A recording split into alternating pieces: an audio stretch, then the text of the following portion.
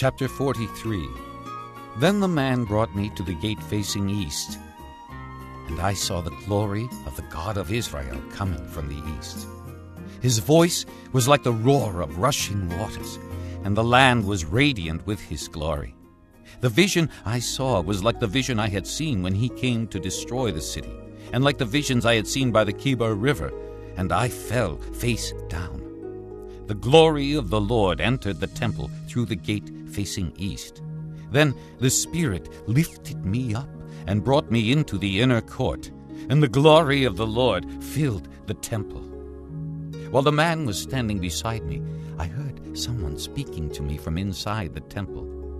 He said, Son of man, this is the place of my throne, and the place for the soles of my feet. This is where I will live among the Israelites forever. The house of Israel will never again defile my holy name, neither they nor their kings by their prostitution and the lifeless idols of their kings at their high places. When they placed their threshold next to my threshold, and their doorposts beside my doorposts, with only a wall between me and them, they defiled my holy name by their detestable practices. So I destroyed them in my anger.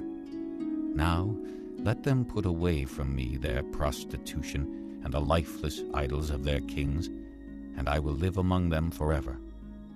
Son of man, describe the temple to the people of Israel, that they may be ashamed of their sins.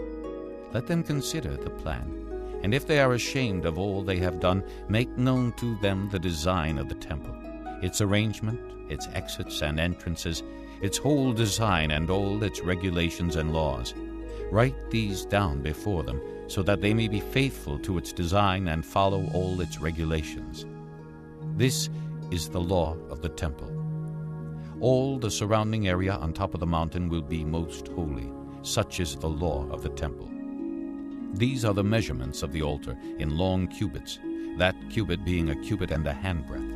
Its gutter is a cubit deep and a cubit wide, with a rim of one span around the edge. And this is the height of the altar. From the gutter on the ground up to the lower ledge it is two cubits high and a cubit wide. And from the smaller ledge up to the larger ledge it is four cubits high and a cubit wide. The altar hearth is four cubits high, and four horns project upward from the hearth. The altar hearth is square, twelve cubits long and twelve cubits wide.